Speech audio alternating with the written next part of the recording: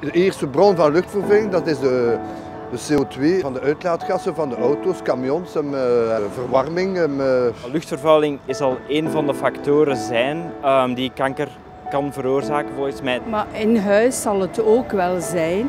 Ik denk dat ja, goed verluchten, maar als je hier verlucht, zit je met hetzelfde probleem. Hè.